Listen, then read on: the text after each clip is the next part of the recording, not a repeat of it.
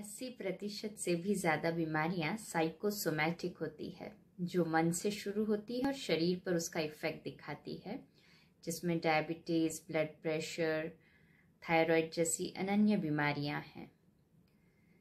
इससे बचने के लिए, खुद की साइकी को ठीक रखने के लिए, अपने मन को वर्तमान में रखें और जो कुछ पॉजिटिव हमें दिखाई देता है या उसकी प्रैक्टिस न भी हो तो पॉजिटिव देखने की प्रैक्टिस करें। मेरे साथ जो हो रहा है अच्छा हो रहा है।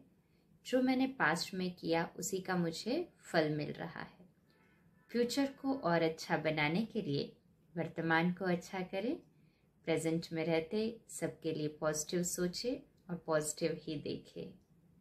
तो मन भी स्वस्थ और शरीर को भी स्वस्थ बना सकते। ओम शांति